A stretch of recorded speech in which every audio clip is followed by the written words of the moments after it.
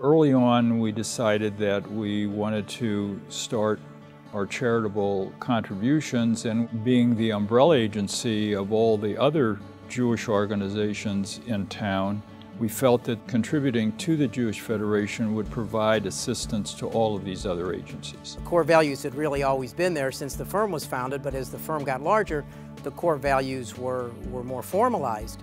Uh, the number six core value is devotion to the community and profession.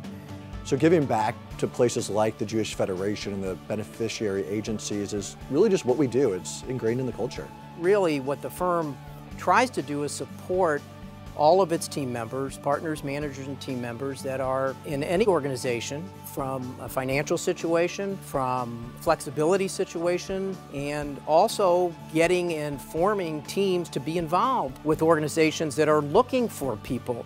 The firm's always happy to sponsor events where our team members or our clients are involved. We want to be out there and we want to be giving back um, in whatever way we possibly can to this community. A lot of it has to do with personal relationships. A number of us have spent many years in Federation and you get a chance to meet with, talk to a number of the people that are involved in the different agencies as well as the volunteers. As much as I gave to Federation, I was getting so much out of it as well just as a person. Um, you, you gain so much from those meetings that you lead, the conversations that you have that you can bring right back to the firm and the relationship that you make. It's, it's just never ending cycle of giving but also receiving. We're looking for people who are passionate about the organizations, who will move up and take leadership roles at a very early point.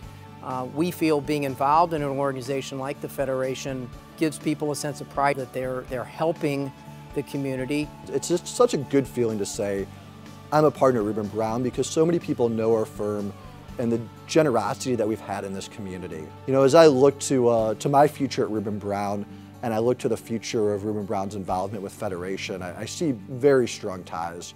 Um, the Federation has just been so great to us over the years and uh, I really see us really being behind the Federation for the future.